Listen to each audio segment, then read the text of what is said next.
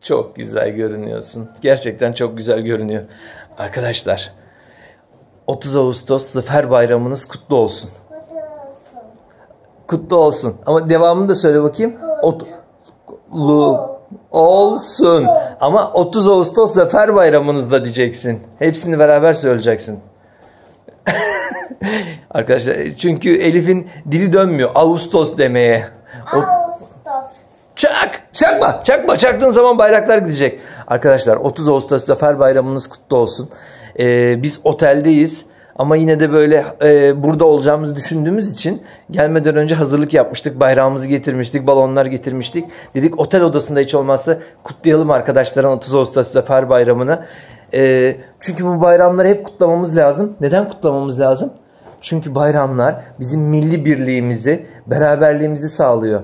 Böyle böyle özel günlerde birbirimize daha yakın hissediyoruz, değil mi? Memleketimizi, vatanımızı daha çok sevdiğimizi hissediyoruz. Onun için eee, hangi bayramlarımız var bizim? 23 Nisan, Kurban Bayramımız var, Şeker Bayramımız var. Onlar dini bayramlarımız. Diğerleri milli bayramlarımız. Evet, 23 Nisan kutlamıştık hatırlıyor musun? Ondan sonra 29 Ekim.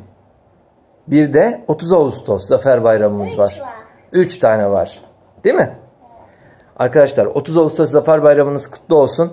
Biz sadece bugün e, için böyle özel böyle bir şey yapalım istedik. E, tabii evde olmadığımız için de böyle çok uzun uzadıya bir şey yapamadık. Ancak bu kadar böyle dedik. Güzel bir hiç olmazsa resim vermiş oluruz arkadaşlara ve bayramlarını kutlamış oluruz. E, vatanımızı çok sevin. Çok kıymetli bir vatanımız var. Her zaman e, göz önünde olan başkalarının hep böyle e, başka milletlerin sürekli gözünün üzerinde olduğu bir vatanımız var. Onun için de birlik ve beraber için beraberlik içinde olmamız lazım. E, bayramlar da bize bunu sağlıyor. Onun için bayramlarımızı da doyasıya kutlayın. E, 30 Ağustos Zafer Bayramınız kutlu olsun. Sizleri çok çok çok kocaman kocaman seviyoruz. Kedilerle çok iyi hayvanlarla. Evet, kediler ve hayvanlara da çok iyi bakın. Elif'in dediği gibi. Kocaman öpüyoruz sizi. Kendinize iyi bakın.